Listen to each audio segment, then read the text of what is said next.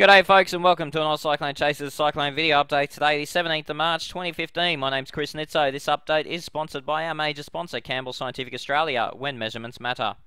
And with the help of Campbell Scientific Australia today we've ma managed to do some final checks on our weather station and ensure that it is working and reporting as normal and is now ready to go. Alrighty, no prizes for guessing. Tropical Cyclone Nathan is the topic of conversation today. A tropical cyclone watch has now been declared from the Bureau of Meteorology for the area between Cape Melville and, by the looks of it, on that track map around Cardwell. Now, obviously, the track forecast has the system tracking pretty well smack bang in between that entire region, right in the middle there, and expecting to hit as a Category 3 around Cape Tribulation. But there is an error margin, as we mentioned, and, and as we've been telling you now, there is an error margin as far south as Innisfail and almost as far north as Cape Melville. Uh, there's certainly a, a, an argument there to suggest that the system could move a little bit further either to the north or a little bit further to the south. Intensity levels are holding at a category 3. There was talk that it might intensify into a 4, but it may run out of time to do so. So it should be an intensifying category 3 on the way into the coast.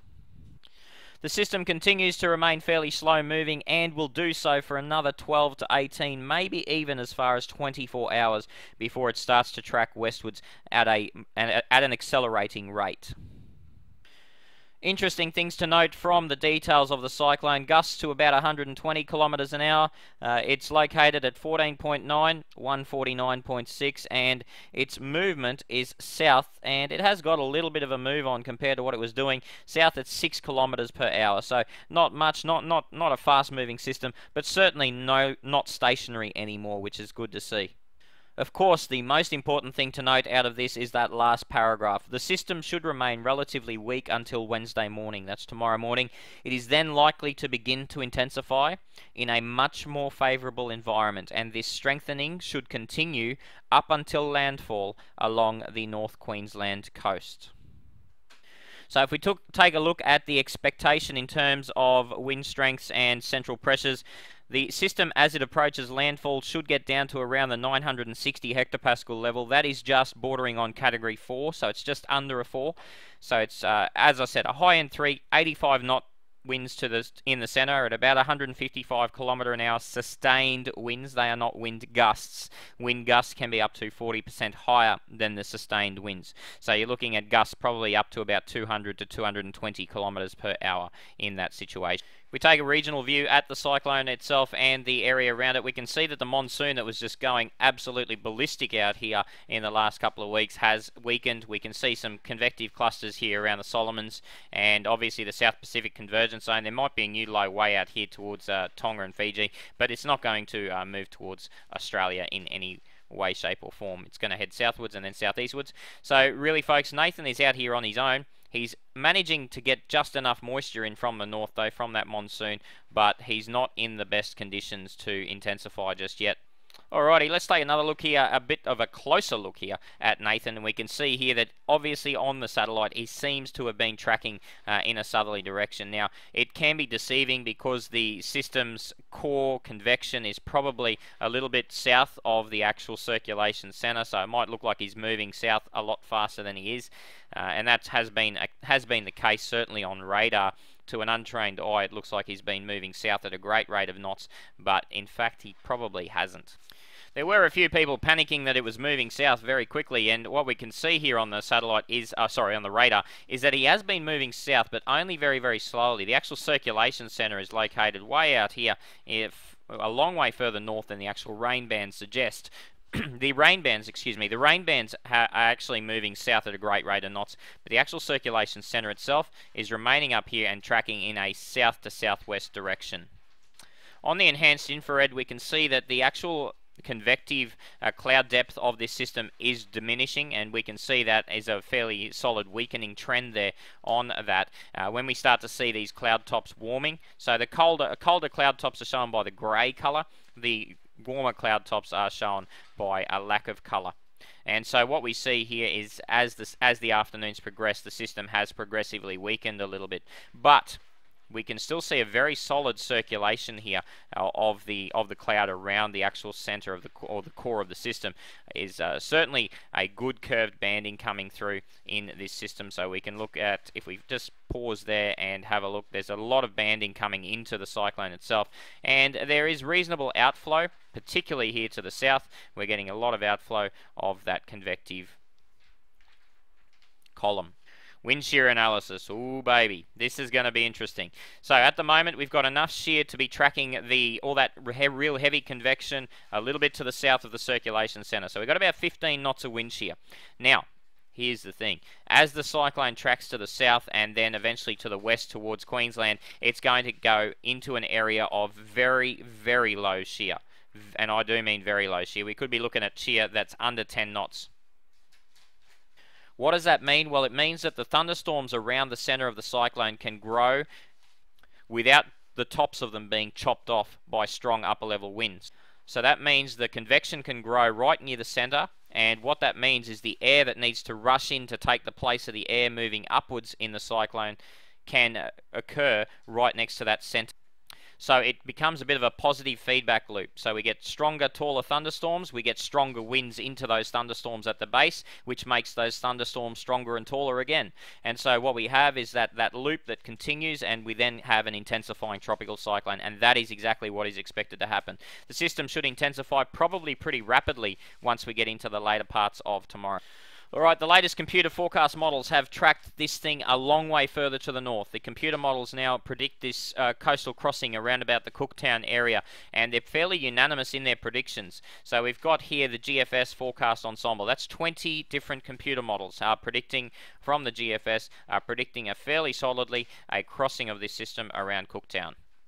If we take a look at three different computer models here, and all three of these different computer models, they're all part of the American model suite. So we're looking at the CMC, which is the yellow model, the GFS, which is the red model, and the NavGem, which is the purple model. And all of them are predicting a coastal crossing right over the top of Cooktown between 4am and 10am in the morning on Friday. Now the important thing to note on these computer models is that there is no further southward progression of this tropical cyclone in any of those models. So those three models have the system tracking directly west from where it is right now. Now, that seems to be a little bit unlikely. The system is tracking fairly slowly to the south. It would need to stop in the next couple of hours and then track directly west for these models to verify. So at this stage, while the Cooktown solution is where all the models are converging, and I'll show you the European very shortly, the European model has an exact similar take, or exact the exact similar, exactly the same take on this type of scenario where the system crosses right over the top of Cooktown. Pretty similar scenario from the UK Met model. The UK Met model has the system completely stopping, coming to a, direct standstill in the next 6 to 12 hours, or 6 to 9 hours, and then tracking directly west from there and crossing just to the north of Cooktown.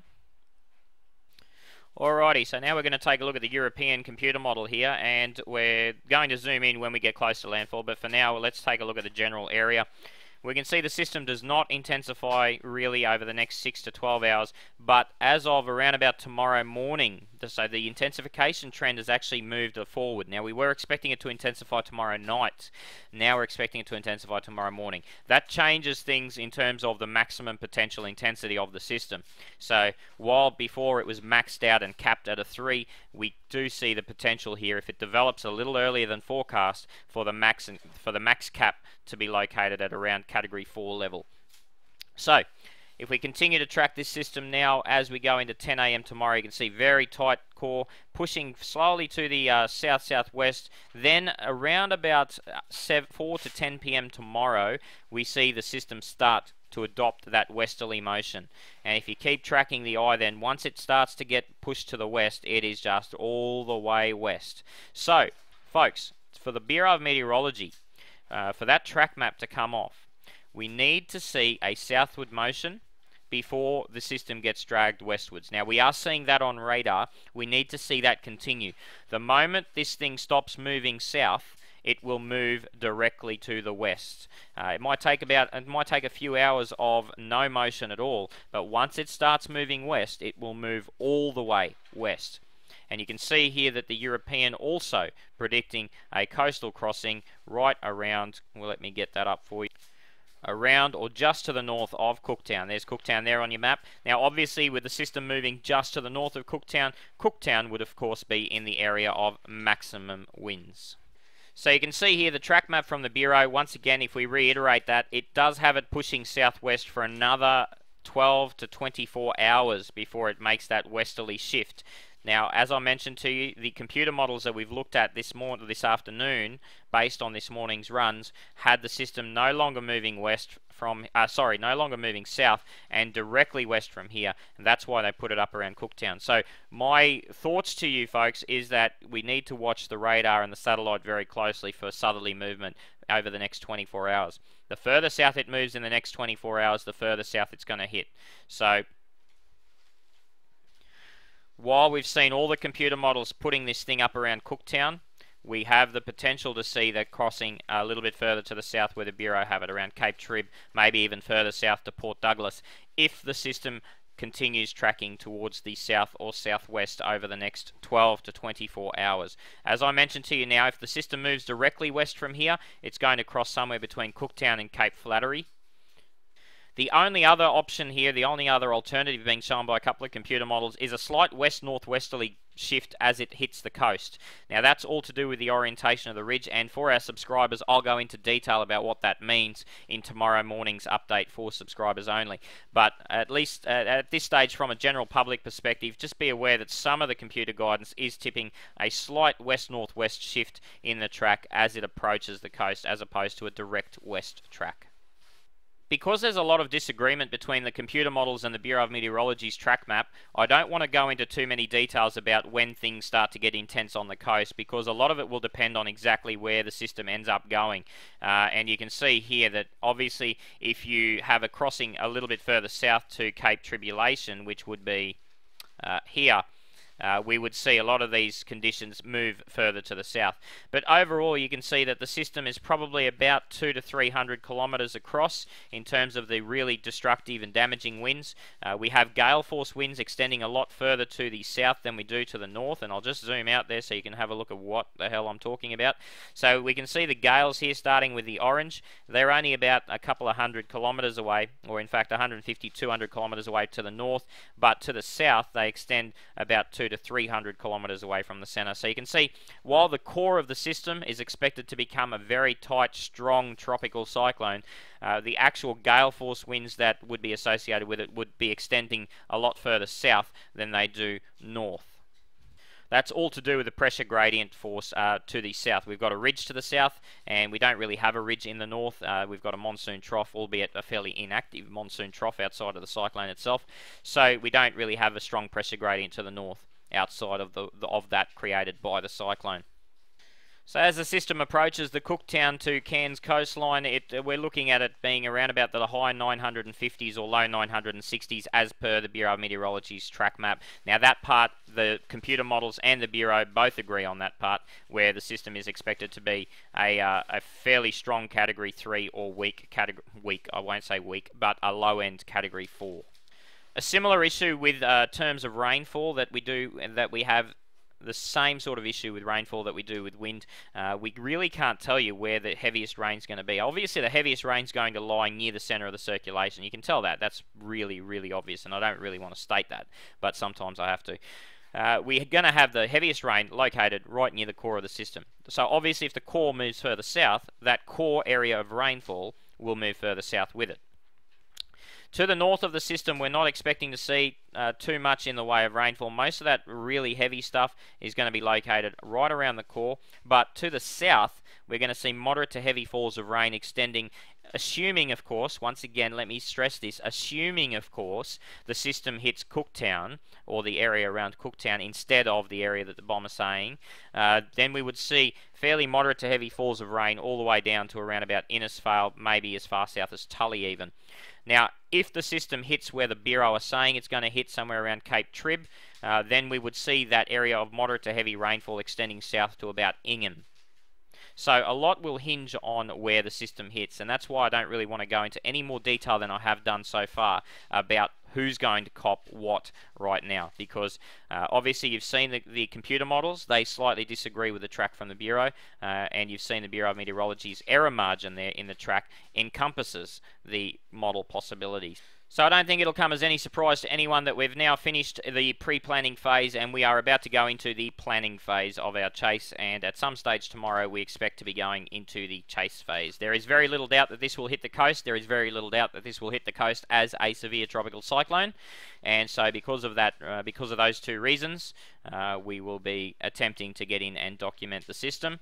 Uh, obviously the area that it might cross in could be quite difficult to get to. We have uh, an area there in Cape Tribulation, we've got an area at Wonga Beach to the south, and we've got an area up in Cooktown. So uh, all those three areas, and there's not too much in between them. So it is a, a difficult proposition to chase this one because of where it's where it's hitting. But I guess that's part of the Australian mainland. You know, you can't you can't pick and choose where they're going to hit, and we certainly aren't a very highly inhabited continent and so we might have to get to a stage where near enough is good enough for this system.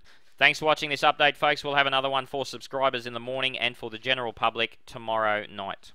To become a subscriber, help us out and uh, get access to some live web streaming and more in-depth video updates, please join us at ozcyclonechasers.com.au slash subscribe.